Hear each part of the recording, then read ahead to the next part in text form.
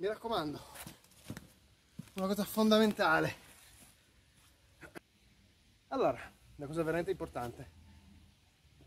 Quando incontrate ambienti come questo in giro, ovvero piccoli stagni, pozze, piccole vasche anche ornamentali o agricole, non devono essere assolutamente immessi pesci in questi, in questi ambienti qua. Questi ambienti qua sono gli ultimi baluardi che rimangono agli anfibi per la riproduzione e i pesci sono degli antagonisti naturali degli anfibi. Allora uno dice perché gli anfibi sì e i pesci no, perché tifi per gli anfibi? Non è così, anche se mi piacciono molto, mi piacciono anche i pesci.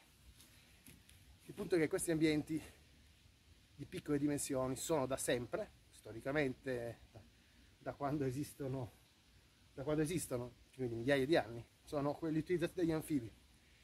Gli ambienti di piccole dimensioni e spesso con essiccamento estivo, ma non è detto, comunque che non potevano in nessun modo essere raggiunti dai pesci in modo naturale.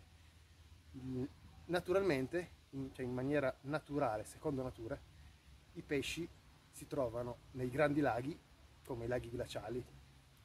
Eh, so, ci sono laghi enormi, tipo il lago Maggiore, eccetera, ma anche esempi molto più piccoli, i laghi di Avigliana, il lago di Viverone, potete pensarne quanti volete voi. Quindi grandi laghi e fiumi e torrenti. Questi sono gli ambienti in cui naturalmente si trovano i pesci.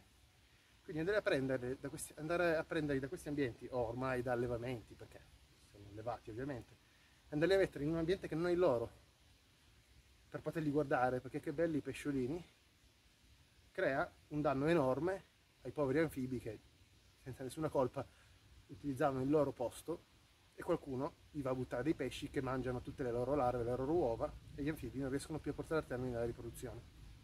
Perché i pesci rossi, le gambusie, le carpe koi sono pesci alloctoni, quindi ancora peggio, nel senso sono pesci eh, non originari delle nostre zone, quindi non c'entrano nulla nell'ecosistema, quindi non devono stare nell'ecosistema, ovviamente.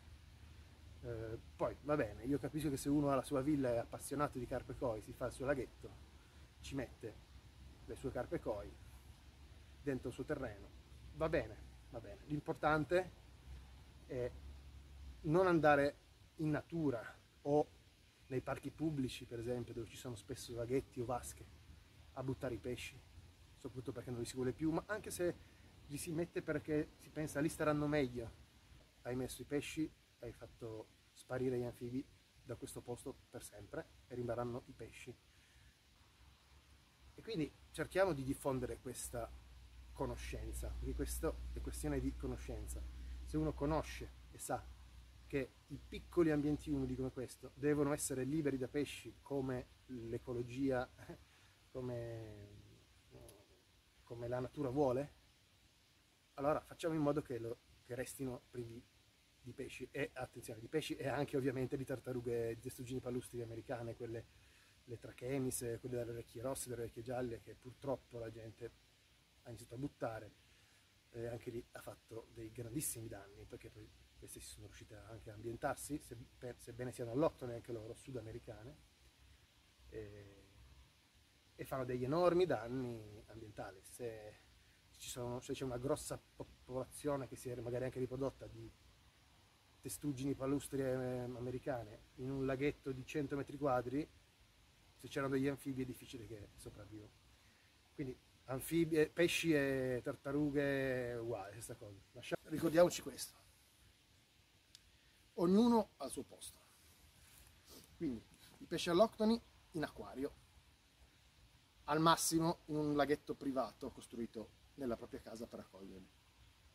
Perché sono alloctoni, non dovrebbero stare sul territorio europeo o italiano, quello che sia pesci alloctoni, acquario o al massimo se uno è proprio appassionato. Pesci non alloctoni, quindi autoctoni, cioè della fauna italiana, devono stare nei grandi laghi, nei fiumi e nei torrenti. Ma in ogni caso ci stanno già e nessuno deve andare a spostarli. In buona sostanza, il succo di tutto questo discorso è non bisogna assolutamente mai andare a liberare pesci o altri animali in ambienti naturali. In particolare no, se sono alloctoni, ma non solo se sono alloctoni, perché se io vado a prendere eh, delle, delle scardole, prendo 50 scardole, che sono dei pesci autoctoni, li metto qua dentro, ho rovinato l'ecosistema che è degli anfibi. Una piccola pozza è l'ecosistema degli anfibi. Infatti i pesci non ci sono, perché non ci potrebbero mai arrivare qua da soli. E io non ce li devo portare. Gli anfibi ci arrivano da soli perché è giusto che sia così. Bene, questo era per riprendere fiato in realtà, però tenetelo a mente. Cerchiamo di diffondere questa cultura e se vedete qualcuno che fa questo genere di cose, cercate di spiegargli perché non devono lasciare dei pesci in uno stagno, in una vasca, in un parco, eh, in un laghetto in giro in campagna, perché distruggono un ecosistema per nessuna ragione. Ok.